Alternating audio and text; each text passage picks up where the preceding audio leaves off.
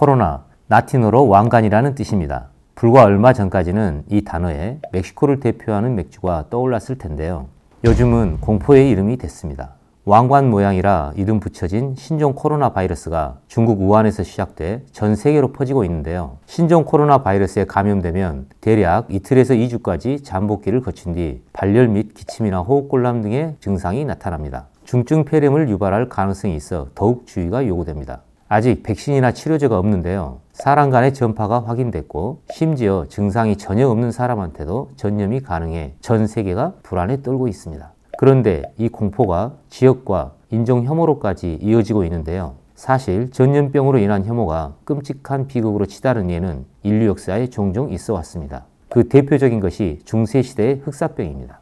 14세기 유럽 전 인구의 3분의 1이 목숨을 잃을 만큼 병이 창궐했는데 당시 유대인, 집시, 매춘부 등 이른바 부정하다고 여겨지던 사람들이 무고하게 학살됐죠. 특히 유대인들은 흑사병 피해가 거의 없었는데 이 때문에 병을 퍼뜨린 주범으로 몰리기까지 했습니다. 그런데 당시 유대인들은 어떻게 감염되지 않았던 걸까요?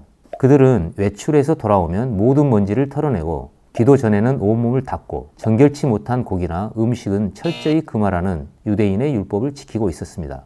구약 성경에 나오는 대로 하나님이 명령하신 대로 따랐을 뿐인데 개인 위생 관리와 방역이 생활 속에 저절로 이루어지고 있었던 거죠.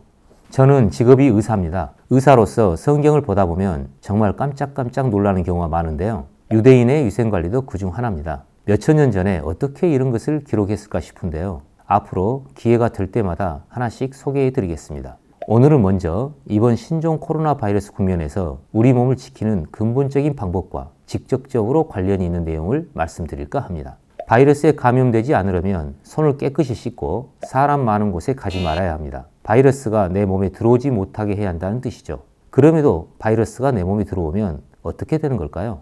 똑같은 환경에 노출됐는데 어떤 사람은 감기에 걸리고 어떤 사람은 걸리지 않습니다. 왜 그럴까요? 우리는 상식적으로 그 답을 알고 있습니다. 바로 면역력의 차이 때문이죠. 꼭 이번에 신종 코로나 바이러스가 아니더라도 수없이 많은 세균과 바이러스들이 우리 몸을 수시로 들락날락 하고 있습니다. 하지만 그것이 다 병으로 연결되지 않는 건 몸이 스스로를 방어하는 체계를 갖고 있기 때문입니다. 그게 바로 면역이죠.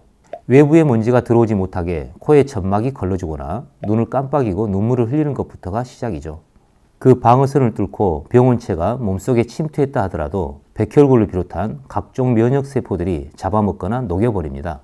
이러한 면역세포의 기능이 적절하게 잘 발휘되는 것을 면역력이 좋다고 하는 겁니다. 그렇다면 백혈구와 면역세포들은 어떻게 만들어지고 어떻게 조절될까요?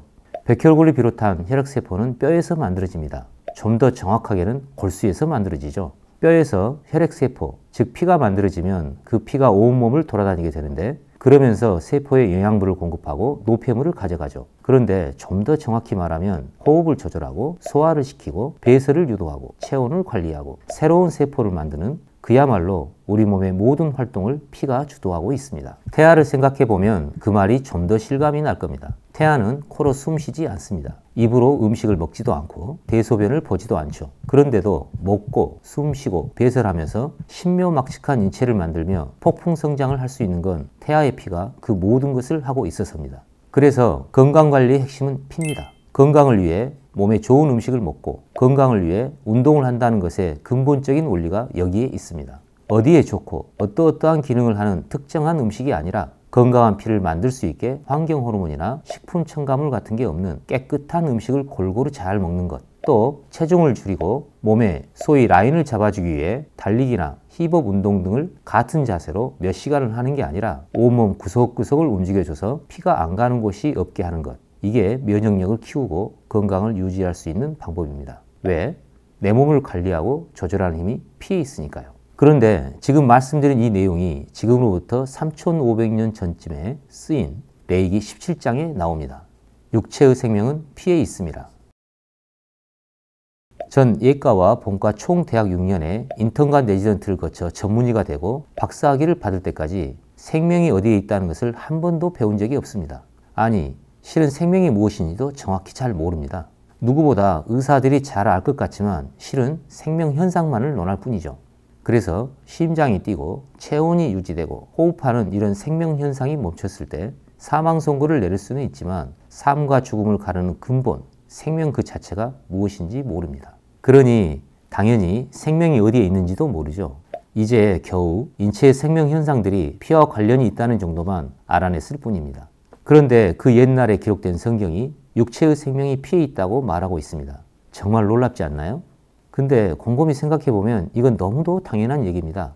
사람을 만든 하나님이니 사람의 몸에 관해 가장 잘 아는 분일 수밖에 없잖아요. 오늘은 한 가지만 소개해 드렸는데 앞으로 더 많은 것을 알려드리면 여러분도 충분히 공감하실 겁니다. 그날을 고대하며 지금까지 시사바이블의 닥터램프였습니다. 여러분 모두 건강하세요.